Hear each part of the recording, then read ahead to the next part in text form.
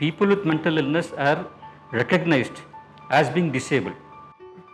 I think instead of saying how does mental health affect learning, I would say that the way we learn affects our mental health. Some point of time, all of us in this campus actually wanted a good counselor. The cost of availing proper treatment, that is counseling or going about with proper medicine outside the campus is extremely high. There are around only 3,800 odd psychiatrists in the entire country. Counseling can have great effects. I have seen it, I have experienced it. Uh, so in my experience, I myself have suffered uh, depression. Like when I was in my third year of college, I went through a really difficult time on my own. And just like not having enough resources and uh, knowing that everything around, like all sorts of therapies around you are so expensive is an issue that I think all of us deal with. In no way can a student coming from a lower financial status or a marginalized background can you know, approach these sort of mechanism. So the primary stress has to be on building an effective mechanism within campus that would be easier for the students to approach. Not paying so much outside for your health and just like having it for free maybe or a minimal amount will be great uh, for students. It will be more accessible for everybody. But the present mechanisms on campus are definitely not in any way that approachable.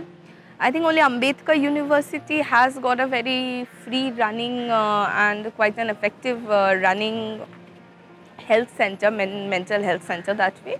But apart from that, none of the universities in Delhi actually addresses these issues. There is a need to create more spaces where the students can just go and if in the like moments of uh, despair and sadness and even if they're feeling good and if they want to talk to somebody, then there should be some avenues available in the campus where they can go.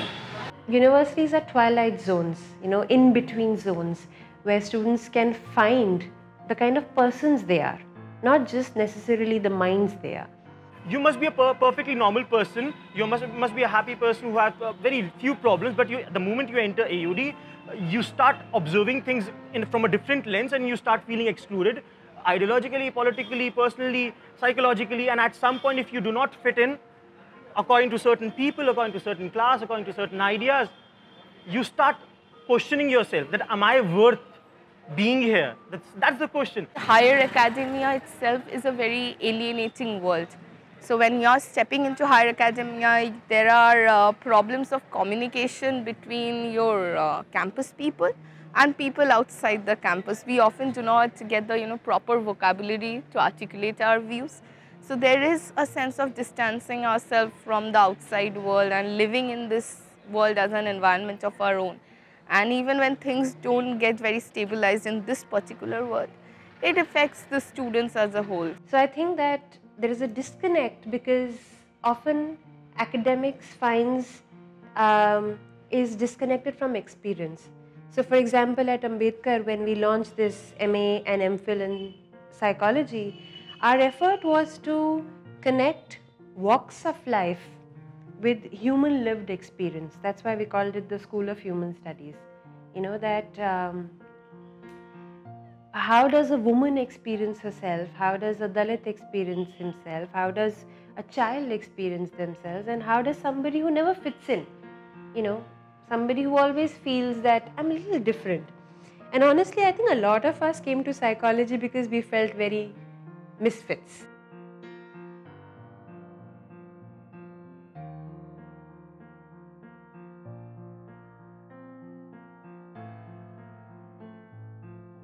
In a campus like JNU or HCU, which is Central University campus, and people coming from different sections of the society, the issues of mental health does not restrict itself to its immediate environment. A lot of other issues also get involved with mental health, like issues of discrimination. Supposedly, a person coming from a marginalized section, when he or she comes here and comes in contact with the so-called upper elite section of the society, a lot of issues, a lot of uh, self-confidence issues, expression issues develop in them. And we have seen how in these campuses, these issues have taken the form of severe depression. Uh, moreover, I know people who have been through uh, identity crisis and uh, generally uh, maybe due to performance pressures and peer pressures. Why do I say what I say? It has to be justified in my lived experience. For example, like now with you know these suicides that are happening with so many um, overt discriminations of caste, you know they're not covert anymore. I don't think these things are necessarily um, verbalizable. The hurt is so unconscious and the, the prejudice is so deep that it takes generations for it to uh, change. So, at best, what we can do is um, letting in voices, letting in as many multiple voices, not just in the classroom, but also the multiple voices within me. So one part of me say, says that yeah, I I'm a I'm a Hindu and I hate Muslims, and you know one part of me says, how can you think like this? So you know we ourselves are not unitary beings. We ourselves are beings who think different things at different points of time. That repression of particular ideas, that repression of particular feelings, particular expression because of the uh, pressure of academia, because of the pressure of peer pressure, uh, peer, peer pressure, because of certain ideologies that are dominant and that are righteous in certain ways, people felt that they are not able to express themselves. We do have one mental health counselor and one psychiatrist present on the campus, but it can in cannot in any way cater to a student strength of 8,000. The government health ministry conceded that there are only 3,800 odd uh, psychiatrists in the entire country. It's not, not in the government sector, it's both in the public and the private sector. Uh, the point is that you need to have a good setup and a big one so that you can deal with the amount of students that uh, have mental issues these days. from where we come from right it's like we don't know what depression is. We don't know what anxieties are. We don't know that you know feeling uh, bad about something feeling depressed about something is actually a clinical thing. We don't know that The idea that we need to normalize is that if you have a body, you're going to get some bodily sickness. So you have a mind, you're going to get mentally ill as well. So if you are developing some mental health issues, it is always good to go see a doctor for that. First, to develop this idea that it is okay to develop mental health issues and there are ways to address that.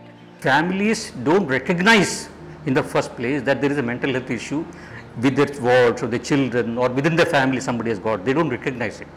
Even if they, they come to recognize it, they don't go for treatment.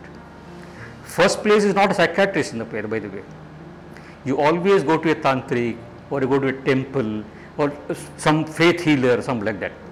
So all these, after exhausting all these mechanisms only, then you try to go, try to go to a psychiatrist if available.